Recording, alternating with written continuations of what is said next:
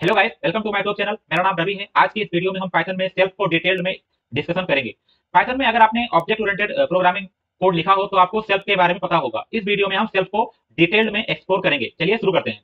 Python में जो self होता है, किसी भी क्लास के अंदर, वो करंट ऑब्जेक्ट को पॉइंट करता है। मतलब जो करंट इंस्टेंस होता है पाइथन में, किसी भी ऑब्जेक्ट का, उस इंस्टेंस को रिप्रेजेंट करता है सेल्फ की मदद से।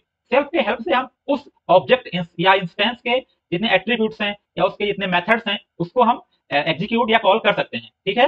पाइथन में सेल्फ कोई कीवर्ड नहीं है तो आप सेल्फ की जगह कुछ भी यूज़ कर सकते हैं। तो इसका यूज़ क्या होता है, इसको हम डिटेल में समझने के लिए एक क्लास क्रिएट करते हैं। फॉर एग्ज़ाम्पल मान लीजिए मैं यहाँ पे सेल्फ मैं यहाँ पे एक क्लास क्रिएट करता हूँ माई क्लास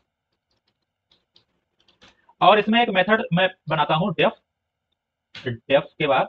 मान लीजिए मेरा मेथड है से हेलो ठीक है? मान लीजिए हमने मेथड बनाया, देखो ऑटोमेटिकली क्या हो गया, यहाँ पे सेल्फ फ़र्स्ट पैरामीटर क्या हो गया पास हो गया। तो किसी भी क्लास के अंदर जो सेल्फ होता है, वो इंस्टेंस मतलब जो क्लास का इंस्टेंस है, उसको रिप्रेजेंट करता है और उसको हम हर मेथड के अंदर, जितने भी ऑब्जेक्ट के मेथड होंगे या क्लास के अंदर जितने भी इंस्टेंस मेथड्स होंगे, उसके अंदर हम सेल्फ को फ़र्स्ट पैरामीटर हमेशा पास करते हैं। ये फ़र्स्ट पैरामीटर ही क्यों पास करते हैं या इसको पास करना ज़रूरी क्यों है, इसको हम आगे समझ में आपको धीरे धीरे आएगा। पहले हम आपको दिखाते हैं कि कैसे ये वर्क करता है। तो मान लीजिए मैं यहाँ पे प्रिंट करता हूँ हेलो हेलो हाउ आर ठीक है?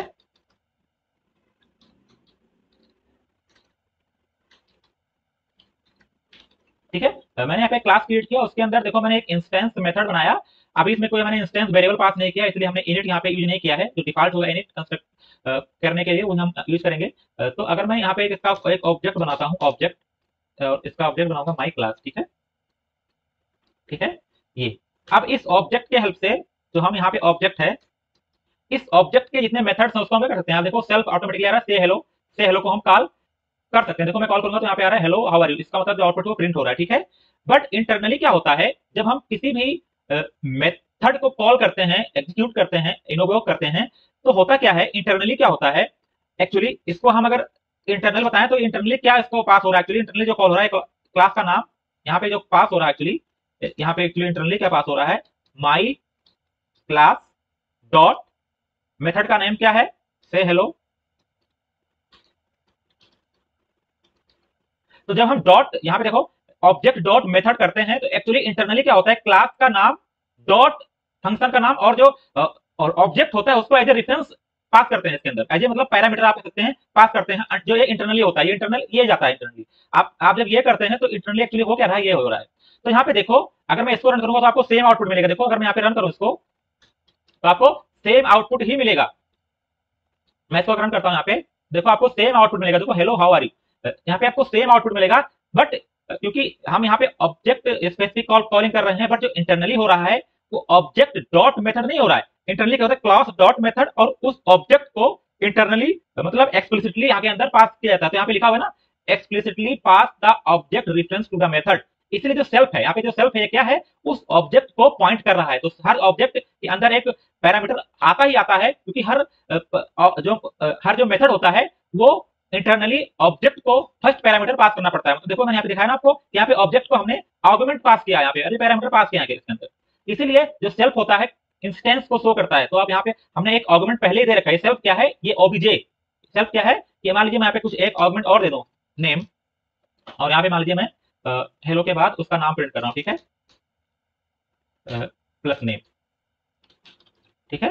तो पहला आर्गुमेंट क्या है? सेल्फ सेल्फ मतलब पहले हमें क्या पास करना ऑब्जेक्ट और दूसरा क्या है? कुछ अदर है मतलब तो नेम तो नेम पास कर देंगे यहाँ पे मान लीजिए, रवि, ठीक है?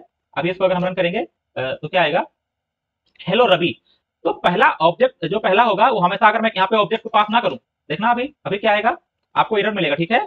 अभी मैं इसको रन करूँगा तो यहाँ पे देखो इरर मिलेगा ना? Hello word missing one required positional argument ठीक है? पोजिशनल आर्गुमेंट को हमने पास नहीं किया है, ठीक है?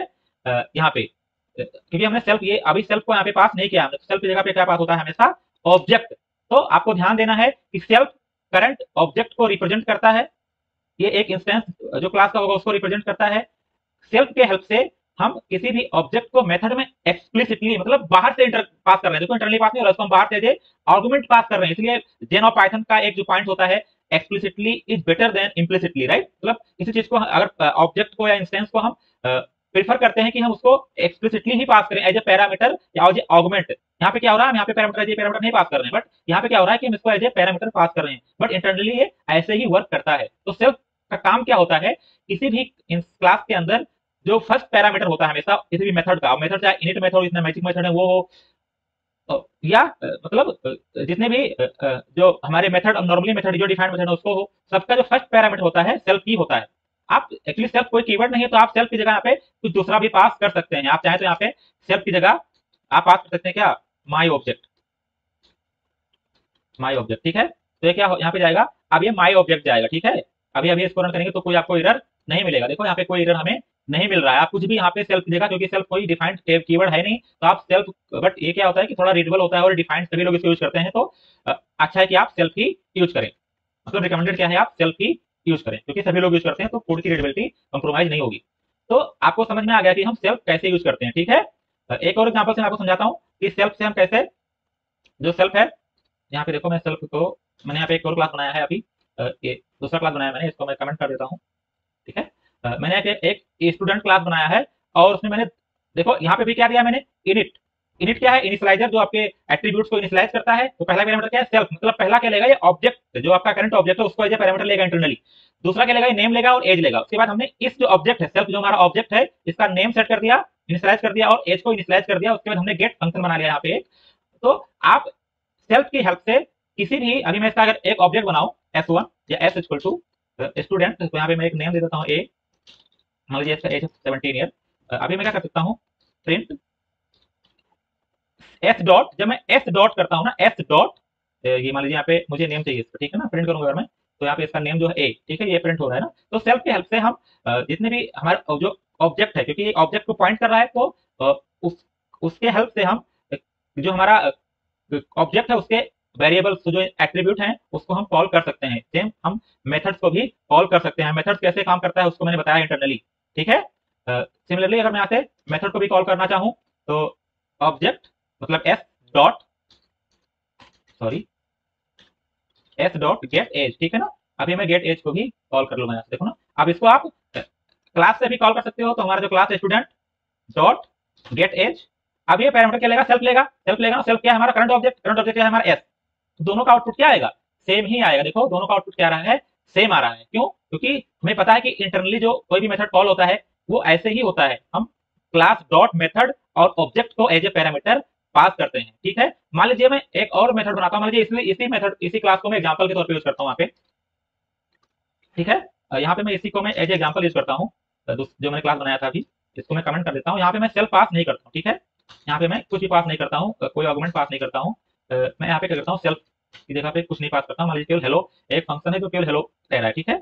यहाँ पे मैंने कुछ पास नहीं किया देखो यहाँ पे क्या अभी कुछ दिखाएगा ना must have a first parameter usually called self मैंने, चलिए, ये इरर नहीं देगा आपको कुछ, क्योंकि अभी अगर मैं क्या करता हूँ, इसका प्रिंट करता हूँ। डायरेक्टरी जो डायरेक्टरी क्या करता है, हमारे इतने अवेलेबल मेथड्स हैं, उसको दिखाता है। हेलो जो हमारा क्लास है माई क्लास ठीक है? डायरेक्टरी क्या करता है, किसी भी क्लास के अंदर जितने भी अवेलेबल मेथड्स है, उसकी डायरेक्टरी होती है। अगर मैं प्रिंट करूँगा, देखना इसमें इतने जितने मेथड्स हैं तो ये सारे हमारे स्टैंडर्ड मेथड्स हैं, जो कि ऑब्जेक्ट क्लास से आए हैं, वो हैं। उसके बाद इसमें देखो से हेलो का भी एक, इसके डायरेक्टरी के अंदर एक मेथड है, ठीक है? अगर मैं इसका एक ऑब्जेक्ट बनाता हूँ, ठीक है? मैं इसका क्या करता हूँ, एक ऑब्जेक्ट बनाता हूँ। इसका क्या बनाता हूँ मैं, एक ऑब्जेक्ट बनाता हूँ, ठीक है? माई क्लास का बनाता हूँ। और ऑब्जेक्ट का भी मैं डायरेक्टरी प्रिंट करता हूँ, ठीक है? ओ बी जे तो आपको देखेगा कि इसके अंदर भी मेथड प्रेजेंट है। हमने सेल्फ तो नहीं दिया है बट इसके अंदर भी देखो इसको मैं कमेंट करता हूँ। इसके अंदर भी देखो, इस ऑब्जेक्ट के अंदर हेलो मेथड है। बट अगर आप इसे कॉल करना चाहोगे मैं क्या करता हूँ, इसे कॉल करता हूँ। करता हूँ मैं? ओबीजे डॉट से हेलो ठीक है? अब मैं क्या करता हूँ, इसे कॉल करता हूँ। देखते हैं कि हम कॉल कर पाते हमें दिख गया कि इसकी डायरेक्टरी के अंदर से हेलो मेथड है बट कॉल क्यों नहीं हो रहा है, उसको देखते हैं। कोई एरर है ना? Say hello takes zero positional argument देखो, सही है ना कि यहाँ पे कोई आर्गुमेंट हमने पास नहीं करना है, कोई आर्गुमेंट नहीं लेता है but one is given but इसके अंदर एक आर्गुमेंट पास किया गया है। सिंपल कह रहा है ना? तो पास ये इधर कहाँ से आया? क्योंकि जो हमें पता है कि जो हमारा मेथड कॉल होता है ऑब्जेक्ट का, वो इंटरनली क्लास नेम से कॉल होता है। मतलब जो my class dot my class dot say hello ठीक है ना? ऐसे कॉल हुआ होगा और इसके अंदर ऑब्जेक्ट को पास किया हो गया होगा। मतलब जब हम ये ऑब्जेक्ट डॉट से हेलो कर रहे हैं तो इंटरनली ऐसे कॉल हुआ होगा ना? बट यहाँ पे लिखा है कि ये जो मेथड है, कोई आर्गुमेंट नहीं ले रहा है, कोई आर्गुमेंट बट हमने यहाँ पे ऑब्जेक्ट को पास किया हुआ है ना? इसलिए देखो आपका एरर भी सेम कह रहा है कि say hello takes zero positional argument but one was given एक आर्गुमेंट इसको पास किया गया है। क्योंकि हमारा जो मेथड है ये अटैच है किससे? ऑब्जेक्ट से। ऑब्जेक्ट से या क्लास से। इसलिए हमें यहाँ पे क्या पास करना पड़ेगा? सेल्फ अगर मैं यहाँ पे सेल्फ पास कर दूँगा, अभी आपको कोई इधर नहीं मिलेगा। इधर आपका चला जाएगा। तो इंटरनली सेल्फ का काम क्या होता है आपको? करंट ऑब्जेक्ट को आपको यूज़ करना है। करंट ऑब्जेक्ट एट्रीब्यूट्स को मेथड्स को यूज़ करना है। तो आप सेल्फ तो सेल्फ क्या पॉइंटर आप ऐसे मानो कि सेल्फ एक पॉइंटर है जो करंट जो हमारा ऑब्जेक्ट है या जो आपने ऑब्जेक्ट क्रिएट किया है मेमोरी में। उस पर पॉइंट कर रहा है। तो उसके जितने भी ऑब्जेक्ट हैं मेथड्स उसके जितने भी एट्रीब्यूट्स हैं, उसके मेथड्स हैं, उसको आप सेल्फ की सहायता से कॉल कर सकते हैं। सेल्फ को आप पैरामीटर पास कर सकते हैं किसी मेथड के अंदर। और ये नॉर्मली जब हम इंस्टेंस मेथड बनाते हैं तो उसको हम ऑटोमेटिकली पास करना होता है। क्योंकि हमारा जो मेथड होता है इंटरनली ऑब्जेक्ट डॉट मेथड नहीं क्लास डॉट मेथड उसके बाद ऑब्जेक्ट को as a first parameter explicitly important word है एक्सप्लिसिटली पास किया जाता है। इस तरह से सेल्फ हमारा काम करता है। तो ये क्या है? ऑब्जेक्ट से एसोसिएटेड है। बट ये अगर मैं अभी एक आपको और दिखाता हूँ, मैं एक चीज़ और दिखाता हूँ। अगर मैं प्रिंट करूँ, यहाँ पे देखना। प्रिंट करूँ टाइप प्रिंट करता हूँ। प्रिंट करता हूँ क्या? Type of object dot say hello अगर मैं से हेलो का की क्या है?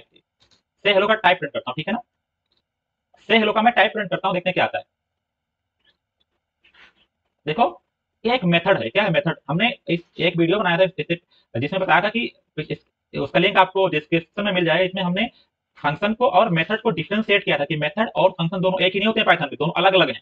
जो मेथड होता है, किसी ऑब्जेक्ट से अटैच होता है, किसी एसोसिएटेड होता है मतलब क्लास के अंदर जितने भी इंस्टेंस मेथड्स होते हैं, उन्हें मेथड क्लास के अंदर आते हैं। बट अगर कोई फ़ंक्शन है जो स्टैंड अलोन है, किसी क्लास के अंदर नहीं तो उसे हम फ़ंक्शन कहेंगे, वो फ़ंक्शन क्लास का ऑब्जेक्ट होगा। तो देखो यहाँ पे क्या है क्लास किस एक इसका टाइप क्या है? क्लास ठीक है? अगर मैं सेम प्रिंट करता हूँ किसके साथ? My class my class dot say hello ठीक है ना? क्योंकि आप देखें, दोनों का प्रिंट करते हैं। देखें हैं क्या आता है। तो यहाँ पे हम सेल्फ आते हैं। यहाँ पे क्या सेल्फ ठीक है। सेल्फ यहाँ पे दे देते हैं हटाते हैं ठीक है। प्रिंट करते हैं अभी। देखो जो दूसरा वाला है, देखो ये फ़ंक्शन है, देखो ये क्या है। ये फ़ंक्शन है। पहला वाला क्या था? मेथड था। दूसरा वाला क्या है? एक फ़ंक्शन है। तो ये एज ए क्योंकि यहाँ पे क्या है? हम, ये जो हमारा मेथड है, ये ऑब्जेक्ट से एसोसिएटेड है। मतलब ऑब्जेक्ट हम मेथड को कॉल कर रहे हैं। ऑब्जेक्ट से मेथड को हम कॉल कर रहे हैं। दूसरा क्या है? इस फ़ंक्शन को कॉल कर रहे हैं दूसरे में, जहाँ पे हम ऑब्जेक्ट को एज ए पैरामीटर पास कर रहे हैं। दोनों में डिफरेंस है। दोनों सेम नहीं, दोनों में क्या डिफरेंस है? तो इंटरनली जो काम करता है, ऐसे काम करता है। तो इंटरनली जो कॉल होता है, वो क्या है? एक फ़ंक्शन की तरह कॉल होता है। बट हम इसे जब कॉल करते हैं अपने कोड में तो वहाँ पे एज ए मेथड वो कॉल होता है। क्योंकि ये एक मेथड है। ऐसे मानो कि क्लास के अंदर एक ये हमारा क्लास है, इसका एक ये पूरा क्या है? फ़ंक्शन है। My class dot say hello अब इसमें हम ऑब्जेक्ट को अपने, जो हमारा ऑब्जेक्ट है, उसको एज ए पैरामीटर पास कर रहे हैं एक्सप्लिसिटली तो ये क्या है? स्टैंड अलोन फ़ंक्शन है। इसके लिए हमें, हमने कोई इसका ऑब्जेक्ट नहीं बनाया ना, इसको हम क्लास कॉल कर रहे हैं। तो ये क्या है? हमारा एक फ़ंक्शन है। तो इससे भी आप समझ सकते हैं दोनों में क्या डिफरेंस है। ठीक है? थोड़ा आपको कॉम्प्लेक्स लग रहा होगा तो आप थोड़ा इसको प्रिंट कीजिए। आप थोड़ा इसके साथ खेलिए तो आपको समझ में आएगा। ठीक है? तो आपको डिफरेंस पता चल गया कि हम इंटरनली फ़ंक्शन हमारा कैसे वर्क करता है मेथड कैसे वर्क करता है किसी ऑब्जेक्ट के अंदर। आप अगर किसी यहाँ पे सेल्फ पास नहीं करना चाहते हैं फिर भी आप चाहते हैं कि मैं इसे कॉल कर पाऊँ तो आप क्या कर सकते हैं इसको स्टेटिक मेथड बना दीजिए। मतलब अभी क्या हो गया? स्टेटिक हो गया नॉर्मल हो गया। इससे किसी से मत, किसी से मतलब नहीं है। इस पे कर ये लगा दीजिए डेकोरेटर ये क्या हो जाएगा? स्टेटिक मतलब एक नॉर्मल फ़ंक्शन हो गया आप कह सकते हैं। नॉर्मल हो गया किसी क्लास क्लास से इसका कोई मतलब नहीं है। अब इसे आप कॉल कर सकते हैं ठीक है? इसको आप ऐसे कॉल कर सकते हैं माई क्लास डॉट ये समझ लो कि आप बस मेथड को आपने एक क्लास के अंदर ऐसे ही डाल दिया है ये नॉर्मल ऑब्जेक्ट का भी किसी ऑब्जेक्ट से एसोसिएटेड नहीं होगा ये, ठीक है? ये देखो, ये प्रिंट कर रहा है ना हेलो तो इस तरह से हमारा सेल्फ काम करता है, ठीक है? चलिए इस वीडियो को ये प्रिंट करते हैं। अगर आपको कोई दिक्कत हो, आपको क्वेश्चन आ रहा हो दिमाग में या कोई डाउट हो तो आप पूछ सकते हैं कमेंट बॉक्स में। Please subscribe my channel and like the video thank you